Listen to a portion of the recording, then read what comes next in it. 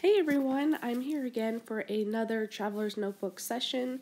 This is um, going to be for another event that I took my eldest son to. The little one um, wasn't feeling very well, so we left him at home. I'm just showing you that I'm using the Everyday Collection chipboard that I picked up at Hobby Lobby. Um, but yeah, my little one was sick, so we left him home um, for this event with his father, who was also sick.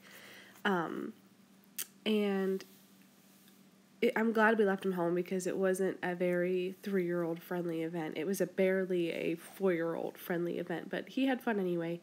So I'm just using some of my uh, Halloween patterned paper that I had in my stash from last year. I have so much Halloween stuff from last year, it's unreal. It seemed like um, last year the Rosses and TJ Maxx's and Marshalls had a lot of Halloween stuff. I know they had a lot of the After Dark stuff, which is weird because that collection was new last year. But in any event, I was able to uh, acquire uh, a lot of really good Halloween stuff last year. And this year, it didn't seem like there was a whole lot that they had out in the stores. And I wasn't all that impressed with the stuff that Michaels had because they always come out with lines for each holiday. And I wasn't all that impressed with what they had. So just using the stash. So I'm uh, I cut the orange striped piece of paper into like a banner to kind of make it look like that picture that banner was coming out of the picture.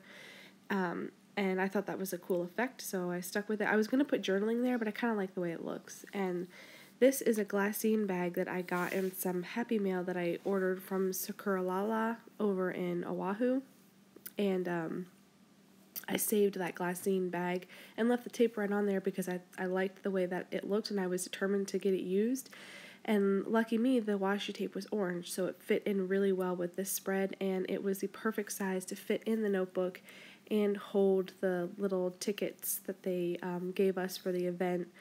Um, it was kind of cool. They didn't give you like a bunch of tickets. They had these printouts, um, and you paid five, ten, or twenty dollars for the tickets, and um, each thing that they had was um, like a dollar or you know two dollars or three dollars or whatever, and so we um, we paid for a ten dollar ticket and then um, we actually found a five dollar ticket on the ground, so we were able to, and it was totally unused, and so we were able to get a little more bang for our buck because a lot of the things like the um, on the right hand side you can see him in like a like a like a train thing, but they were like cans. That was three dollars for him to drive around the parking lot. So he was able to do a few more things with that extra five dollar ticket, and they let us keep them. So I just tucked it right in there. I also put a tag in there that I'm gonna put the journaling on. And I kind of did the same thing that I did in my last video where I grabbed a bunch of stuff from my stash to try to get it used. And this is one of those things. The colors were literally perfect for this spread. Um, the only color that I couldn't use was that like pinky color.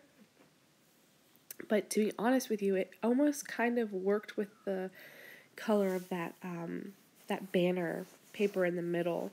It was like an a, like a light mm, skin toned like orange tan color and it almost matched that pink color perfectly, but I didn't end up using any of them. Um, and I'm just gluing the top of that down because it was poking up a little bit and it was kind of bothering me. Very simple, very easy layout. Just wanted to get the ephemera in there and the photos in there, and I think I'm done. Just showing you all the gold pieces and that you can still open this little piece right here and get the journaling and the tickets out. And I wanted to put the date on, that's what I'm doing now. Uh, I wanted to make sure that I got the date on there as quickly as possible before I forgot when it was, and that's it super duper easy layout using stuff that I had on my desk, which I'm really proud of doing that. Until next time, guys, thanks for stopping by. Bye.